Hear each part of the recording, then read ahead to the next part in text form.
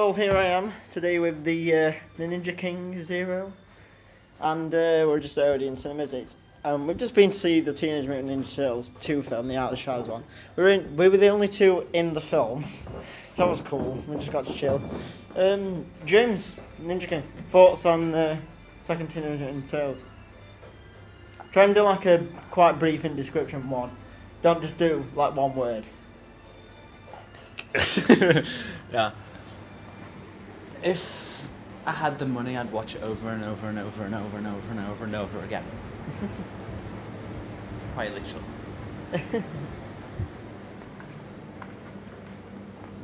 That was Um, cool.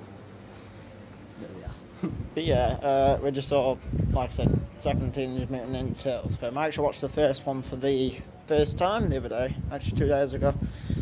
And I wanted to watch it because I got 50% off for the uh, cinema. So it only cost me £2.62 to see that, so I did pretty good there.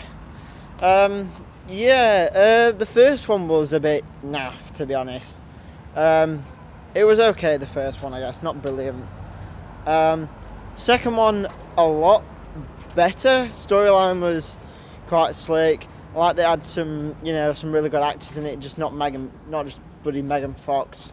The first one. Um, Stephen Malfamaro Yes. And uh, Sheamus. well, yeah, Sheamus from Dewey Dewey. So, Rocksteady. The sexiest rhino you can ever think of. and um, I can't remember the guy who plays Bebop, but yeah, that was it was cool. It was pretty decent, to be honest.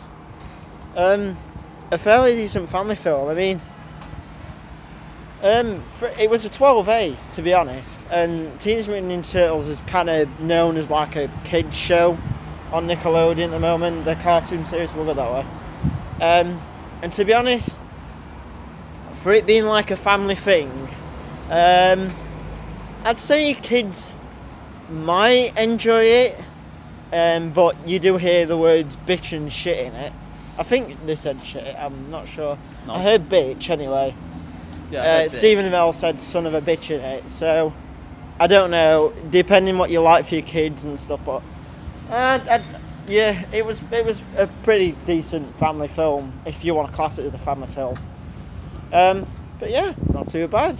Oh, and also I like to say um, I give Teenage Mutant Ninja Turtles two. Uh, the first one I'd probably get a five. Uh, that I give probably pushing it at it maybe a seven point five at least. Nine. Nine. Yeah. What about the first one though? Eight. Eight. I wouldn't go as far as eight for the first one, but Eight is just being kind. fair enough. So yeah. Anyways, guys, see you in a bit.